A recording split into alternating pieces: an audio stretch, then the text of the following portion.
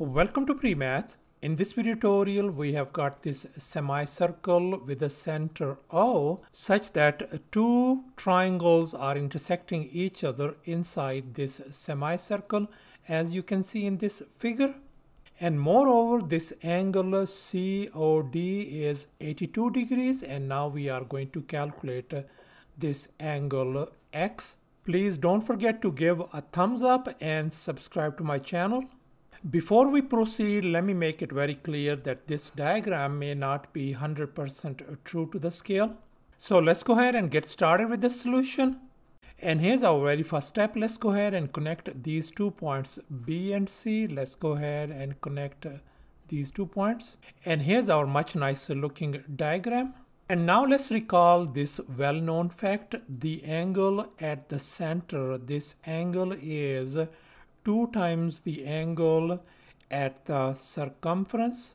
So therefore, in our this given problem, this angle 82 is our angle at the center and this angle CBD is our angle at the circumference. So therefore, this angle CBD is going to be the half of this angle COD, which is 82 degrees.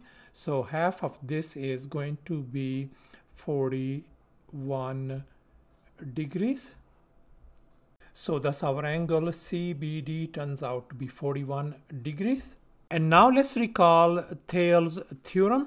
And here's our Thales theorem. If points A, B, and C are distinct points on a circle where the line AC is a diameter, then the angle ABC is a right angle. As you can see in this diagram, this angle is 90 degrees.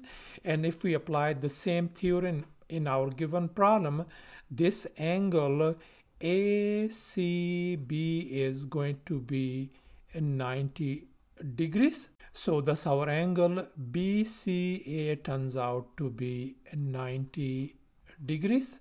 And here's our final step. Let me go ahead and call this point E. And now we are going to focus on this uh, triangle EBC.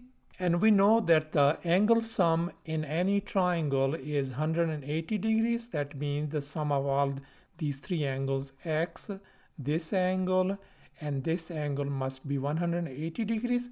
So let me just write it down. x plus, uh, 41 degrees plus, uh, 90 degrees is equal to 180 degrees. So x plus uh, this is going to give us 131 degrees equal to 180 degrees. And now let's go ahead and subtract 131 degrees from both sides. This is gone. So x turns out to be, when we subtract on the right hand side, that is going to give us uh, 49 degrees and that's our answer.